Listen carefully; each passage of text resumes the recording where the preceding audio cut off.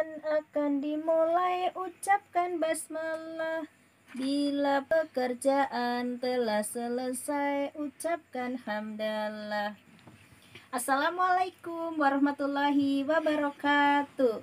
Halo teman-teman Apa kabar para bintang Ayah Sofia Islamic School? Insya Allah teman-teman dalam keadaan sehat, semangat, dan ceria di tema bulan ini, yuk menjaga bumi karunia Allah. Bunda Suci akan mengajak teman-teman bermain sains, yaitu eksperimen terapung, tenggelam, dan melayang.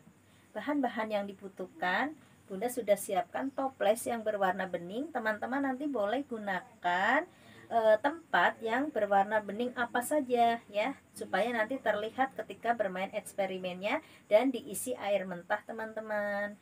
Juga di sini sudah Bunda sediakan benda-benda yang akan e, dicemplungkan ke dalam air ada macam-macam benda ciptaan Allah dan ada macam-macam benda ciptaan manusia yang diberi kepadanya sama Allah.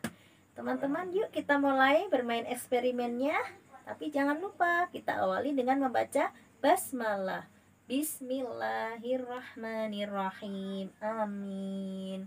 Teman-teman, Bunda mau coba ya. Masukin benda ini namanya tomat. Tomat ini mau Bunda masukin ke dalam air.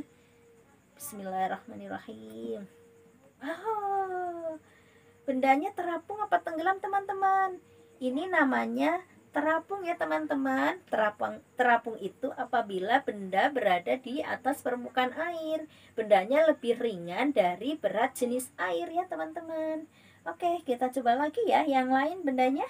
Nah, ini ada batu teman-teman. Batu kira-kira berat atau ringan teman-teman? coba kita masukin ke dalam air ya kira-kira berada di atas atau di bawah ya ternyata ada di bawah. Ini namanya tenggelam teman-teman. Tenggelam itu bendanya ada di bawah karena bendanya lebih berat dari berat jenis air. Jadi eh, ada di bawah. Itu namanya tenggelam. Dan ini apa namanya teman-teman? Tisu. Nah tisu kita masukkan ke dalam air. Wow. Kira-kira apa ya teman-teman wow. Nah tisu itu tidak terapung tidak tenggelam tapi ada di tengah-tengah posisinya teman-teman. Ini namanya melayang. Kalau melayang itu bendanya beratnya sama dengan berat jenis air teman-teman. Oke. Teman-teman, nanti lakukan percobaan ini di rumah ditemani bersama ayah atau bunda atau kakak benda-bendanya teman-teman boleh cari di sekitarnya ya. Nah, nanti teman-teman boleh catat seperti ini. Yang terapung ada berapa teman-teman? Apa saja teman-teman boleh catat?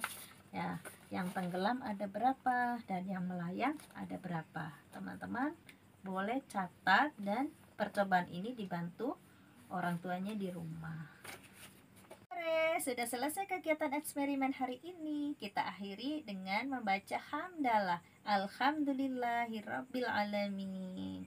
Terima kasih sampai jumpa lagi dari Bunda Suci. Wassalamualaikum warahmatullahi wabarakatuh.